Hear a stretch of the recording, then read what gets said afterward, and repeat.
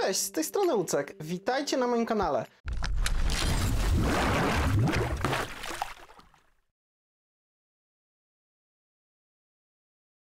Kolejne zestawienie dwóch topowych smartfonów od e, Samsunga, mianowicie Note 8 kontra Samsung Galaxy S8 Plus pod kątem wydajności, tego jak są bardzo szybkie te urządzenia, jak szybko odpalane są na nich różne aplikacje na zasadzie speed. Zobaczmy, który z nich będzie szybciej uruchamiał aplikacje, które będą zostawały e, na dłużej w ramie, czy te 6 GB w przypadku Note 8 coś daje, czy też nie. E, Więc sprawdźmy to, jak to wygląda. Teoretycznie te same procesory, no ale zobaczymy, czy jest jakaś różnica, czy któryś ewidentnie jest szybszy, czy tak naprawdę są tak samo szybkie te dwie jednostki, więc no cóż, zacznijmy, sprawdźmy, czy są obydwa zoptymalizowane. E, Ten sobie jeszcze raz klikniemy zoptymalizowany, drugi również, więc spokojnie możemy działać. A więc będę się starał uruchamiać jednocześnie e, aplikacje, no i patrzmy jak sobie dają radę. No to jak widzicie lista aplikacji plus trochę gier, więc zacznijmy od apek, później będziemy uruchamiać gry. No więc co, na pierwszy rzut oka zobaczmy apkę Allegro, staramy się uruchomić jednocześnie. Jak to wygląda? No prawie identycznie, chyba może minimalnie Nautic szybciej odpalił, ale to może być kwestia palca. Jedziemy dalej. Następna AliExpress. Raz, dwa, trzy, ogień. No, widzicie, tutaj wszystko się załadowało szybciej. Kwestia pewnie karty sieciowej albo czegoś innego. Idziemy dalej. Google Plus. Pyk. No, też ewidentnie Note jest szybszy. Idziemy dalej. Czyli na razie Note wygrywa. E, Facebook. No, chyba minimalnie szybciej e, zrobił to Note. Instagram. No, prawie tak samo. Może z, ma, z no, pewnie błąd palca, ale minimalnie może szybciej Note. Te, e, gry na razie zostawimy, idziemy dalej z apkami. Ipla. Który pierwszy odpali? No tutaj widać, że wygrał. Wygrał z 8 plus w Ipli. NC plus Go. Note. Minimalnie o włos, ale Note. Yy, jak dojadę? No chyba troszeczkę szybciej jest 8 plus, jak widzicie, już po reklamie. Yy, Pyszne.pl No, prawie tak samo bym powiedział. E, idziemy dalej. Rock Radio.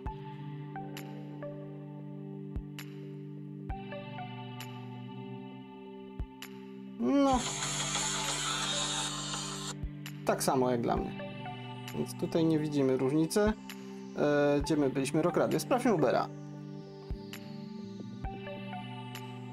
No, e, powiedziałbym, że Note. Minimalnie, ale wygrywa. E, My Taxi.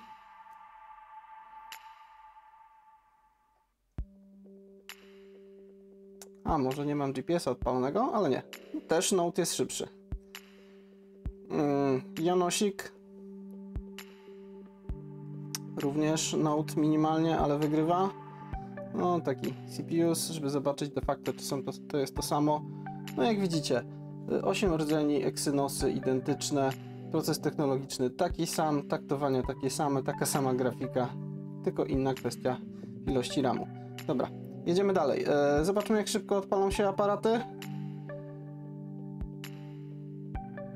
No, no to może jeszcze raz zrobimy to odpalenie z racji tego, że tutaj chciał lokalizację, ale ciach. No, praktycznie tak samo.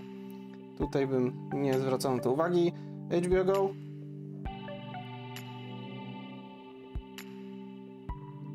No, Nocik troszeczkę szybciej. Minimalnie, ale szybciej. E, Samsung Gear, aplikacja do zegarka. No, widzimy. Note wygrywa. I to znacząco. Według mnie. Ej, sorry. Teraz cofnijmy sobie jeszcze się. Mi się tu ekran przełączył. E, teraz tak, gdzieś mi się odpali, odpaliło S-Health, więc to zamkniemy, żeby wszystko się zgadzało co do tego, co jest otwarte. No i Ceneo. Też szybciej Note. Chociaż coś tu... Coś mieli, ale to pewnie może kwestia samej apki. No nic, dobra. E, to są aplikacje. Na razie nic nie zamykamy. Przejdźmy do gier. Jak będzie wyglądało to w przypadku gier? Mam tu kilka gierek, które będę chciał o, dobra, to jest nieważne. e, które chciałbym po prostu odpalić i zobaczyć jak to szybko wygląda. Więc lecimy. Pierwszy Bullet Force. Który będzie pierwszy? Znowu Note. Minimalnie, ale wygrał. E, Znowu musimy wejść do Game Launchera. E, Asphalt 8. Bam. No widzimy, że na razie cały czas prowadzi Note w tej kwestii. Zobaczmy jak szybko odpali. A dziwo, do gry wszedł pierwszy S8 Plus. E, więc no tutaj wygrał S8 Plus. E, idziemy dalej, Game Launcher. E, Unkilled. Taka sieciówka, strzelanka, bam. Kto będzie pierwszy? Czekamy, czekamy. Na razie widać, że coś szybciej u Note'a. Patrzmy dalej. Ta gra trochę wymaga ładowania, więc zobaczymy, który do niej pierwszy wejdzie. No, ewidentnie widzicie, znowu wygrywa Note. E, I idziemy dalej. Game Launcher. E, Kolejna aplikacja. E, Need for Speed No Limits. Raz, dwa, trzy. Odpalamy. Patrzmy dalej. To też chwilę wymaga czasu na jej odpalenie, więc zobaczymy jak tutaj sobie oba, oba urządzenia poradzą. Oczywiście są obydwa podpięte do sieci, tak samo skonfigurowane, wszystkie takie same ustawienia, rozdzielczość ekranu też najwyższa jaka jest możliwa, bo takiego używam jednego i drugiego, więc no, to może być problematyczne, bo obydwie gry wymagają połączenia się z serwerem, więc może tą grę na razie ominiemy w tym tekście w takim razie, zapomniałem o tym, ale to akurat mało ważne, zobaczymy dalej. Yy, idziemy Asphalt Extreme. Bam. Jak będzie tutaj? Która pierwsza? No widzicie po...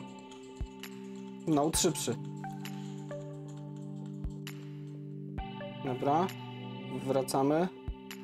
Yy, Temple Run 2. Jak to będzie wyglądać? No na razie, na razie widzę, że prowadzi S8+. Patrzymy dalej. Który pierwszy zakończy ładowanie? No, o dziwo jednak, jednak według mnie chyba Note.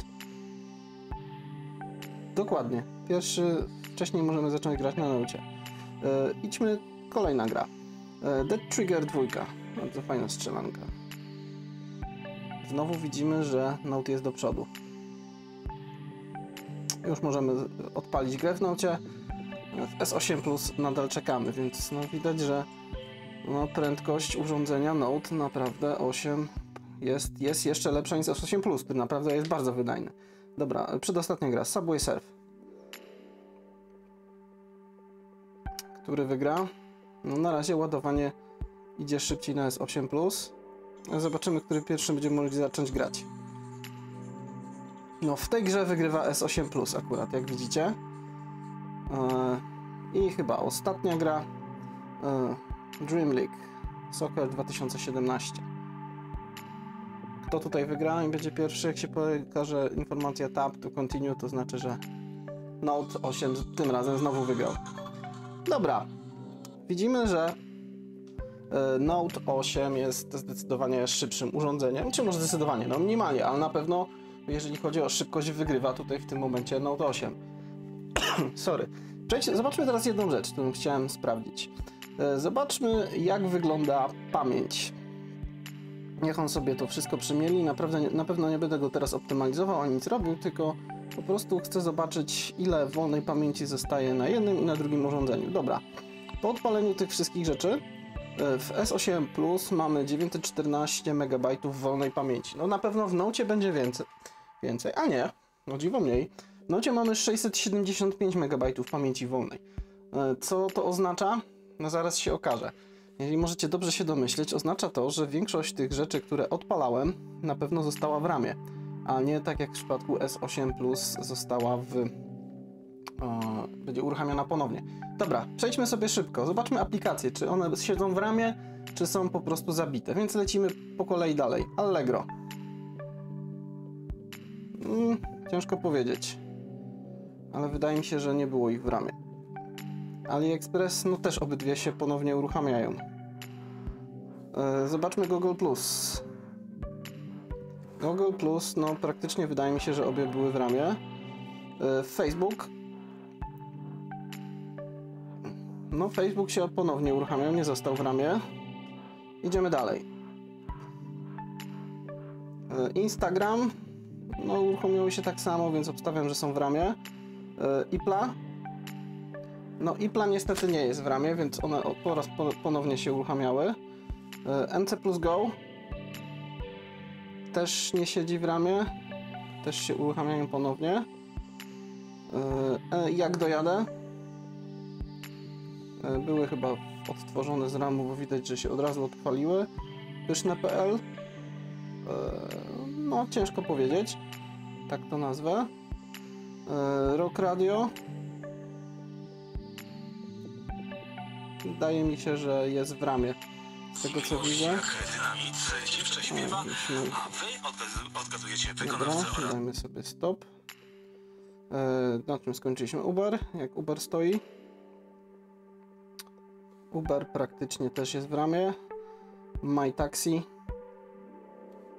też siedzą w ramie, identycznie się uruchomiły. Janosik, Janosik podtrzymywany w pamięci RAM. CPU, no, też chyba były w ramie. Dobra, sprawdźmy jeszcze HBO Go.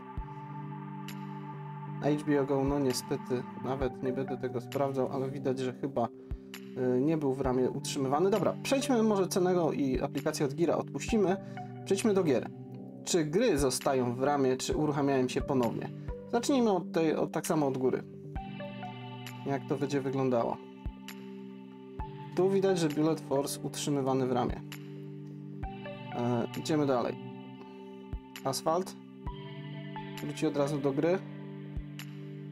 Nie, asfalt ładowany jest ponownie. Więc może nie będziemy go odpalać. Widzieliśmy, który robi to szybciej. Unkilled. No, też nie siedzi w ramie.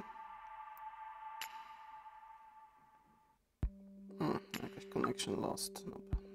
Więc tutaj też tego nie będziemy sprawdzali, nie ma sensu czekać. Mm, no limits. Oj, tu nie zdążyłem przycisnąć, sorry, ale zresztą to jest ta gra, która robi problem. Nie można ich dwóch naraz uruchomić, to to sobie odpuścimy. Ale ważne, żeby była taka sama ilość pamięci. Asphalt Extreme.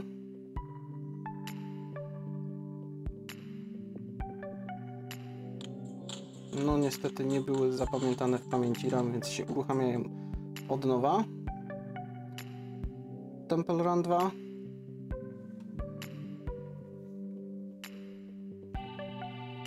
Też ładujemy od nowa.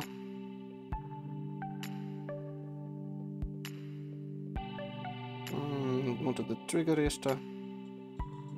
O, widzicie, Dead Trigger siedzi w pamięci RAM, bynajmniej w Nocie, więc tu już widzicie plus. Nie jest ponownie ładowany. Dobra, przejdźmy dalej. Subway. Również w przypadku Nota ta gra siedzi w pamięci, więc... A tu mamy ponowne ładowanie, więc kolejny plus dla Nota. No i może jeszcze wyłączyło się wszystko. Dream League Soccer. Też gra została w pamięci RAM. Cóż, jakie wnioski z tego wszystkiego? No słuchajcie, no wnioski zasadniczo są proste. Jeżeli chodzi o... o dobra, to już sobie wyłączmy, żeby nam nie grało. E, wnioski są bardzo proste. Jeżeli chodzi o wydajność tych dwóch urządzeń, mimo że mamy tutaj tak naprawdę e, identyczne procesory, Exynosy 8895, takie same karty graficzne, jednak bardziej zoptymalizowanym i szybszym urządzeniem jest Note 8. E, wy- Z czym to może być spowodowane? No wiadomo, mamy tutaj, tu jest Android 7.0, tu jest Android 7.1.1. To jest pierwsza sprawa. Druga sprawa, no obstawiam pewnie jakieś optymalizacje przy samym stworzeniu urządzenia płyty głównej, jak i również e, optymalizację pod względem działania samego systemu. Więc tutaj szybkość, no naprawdę działania, mimo że identycznych procesorów, Note jest szybszy. Jeżeli chodzi o RAM, też ważna kwestia. E, Jak widzicie, e, pokazałem Wam, że po uruchomieniu nastu aplikacji, no to w, no, w S8 zostaje nam jakieś 600 MB, a tu praktycznie e, 900 MB wolnej pamięci, tu zostało nam 600, czyli praktycznie wszystko załadowaliśmy do RAMu, więc większość tych aplikacji, które e, pozwala się uruchamiać i zostawać w pamięci RAM, tak na przykład te ostatnie gry, co widzieliście, to robi. I nie ma, i nie ma w tym momencie problemu, więc jeżeli chodzi o RAM i te 6 GB RAMu, naprawdę widać różnicę, że te urządzenie posiada aż 6 GB, te urządzenie posiada 4 i widać, że ten RAM jest wykorzystywany i zarządzanie pamięcią i procesami, aplikacjami, które w niej, e, w niej się znajdują, o wiele lepiej to działa w Note 8, no z racji tego, że oczywiście tej pamięci jest więcej, więc e, biorąc pod uwagę kwestie wydajności i kwestie pamięci i jej zarządzania, no w porównaniu tych dwóch urządzeń, no nie da się ukryć, że znowu wygrywa Note 8, więc jeżeli chodzi o wydajność, na chwilę obecną Note 8 jest zdecydowanie bardziej wydajny. Może zdecydowanie. Co nie są wielkie różnice. Wiadomo, przy moim teście to jeszcze mogła być kwestia no, milisekund dotknięcia palca, mojej reakcji prawej, prawego, lewego palca, ale zasadniczo, no, mm, jak widzieliście, i tak w większości przypadków, e, nawet jeżeli były wyniki bardzo bliskie siebie, Note 8 wygrywa, więc jeżeli chodzi o speed, porównanie speed testowe, wydajności, jak również kwestie RAMu, jak ten RAM wygląda, czy też dłużej, e, wszystkie aplikacje pozostają w ramie, więc e, jak to już powiedziałem, król jest u Samsunga tylko jeden, więc tutaj ewidentnie wygrywa Note 8. S8 Plus jest jednak troszkę mniej wydajny. E, więc tyle w temacie wydajności. Trochę się rozgadałem, ale no widzicie, temat, temat dość długi, żeby fajnie Wam to pokazać. Jak się podobało, oczywiście łapka w górę. Zapraszam do subskrypcji mojego kanału. Ponawiam, ponawiam oczywiście kwestię tego, że jeżeli macie jakieś fajne pomysły, jak e, co byście chcieli wiedzieć o porównaniu tych dwóch urządzeń albo o samym tym, piszcie w komentarzach. Postaram się Wam na to odpowiedzieć lub też, lub też nakręcić film. E, No i cóż, dzięki za dotrwanie do końca. Trzymajcie się ciepło. Hej!